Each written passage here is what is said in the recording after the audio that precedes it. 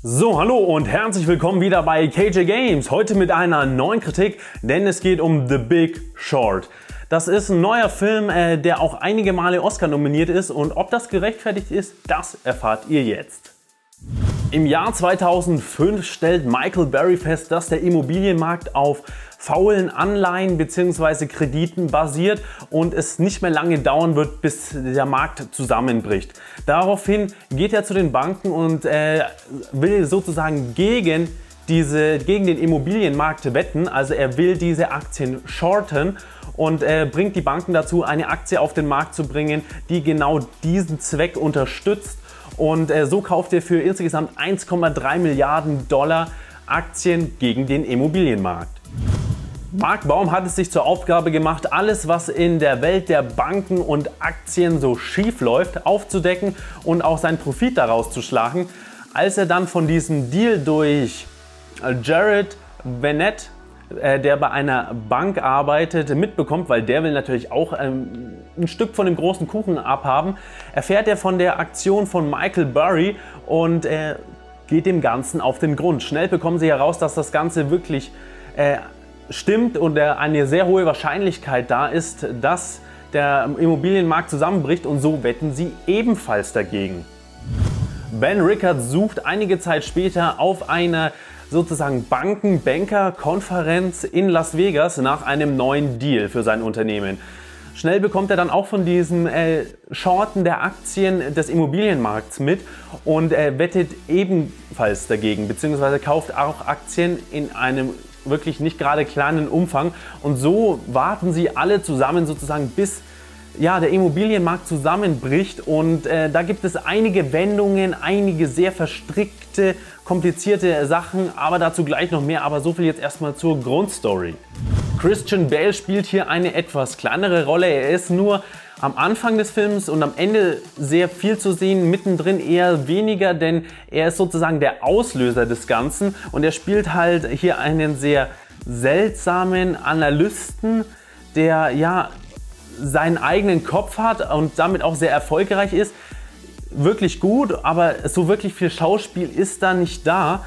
Ryan Gosling ist hier ebenfalls nicht so ganz so präsent, ebenfalls auch äh, Brad Pitt, die sind einfach eher kleine. Es geht eher um diese Analysten, die mit denen zusammenarbeiten. Die sind eher im Vordergrund, beziehungsweise wer auch im Vordergrund sehr viel ist, ist Steve Carell.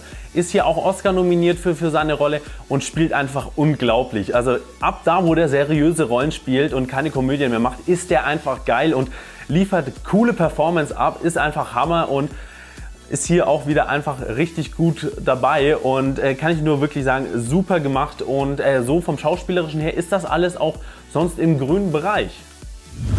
Technisch bekommt man hier einen Film in einem bestimmten Dokumentarstil, weil sie müssen sehr, sehr viel erklären und das machen teilweise die Schauspieler bzw. die Rollensprechenden Zuschauer direkt an und erklären einige Sachen, damit man das auch alles versteht. Und ich finde, das passt nicht so unbedingt. Man hätte das auch anders lösen können. Und ich finde das in dem Fall einfach, ja, manchmal ist es halt so Dokumentarstil nach dem Motto, ja, ich ziehe jetzt die Schärfe nicht richtig, damit das so aussieht.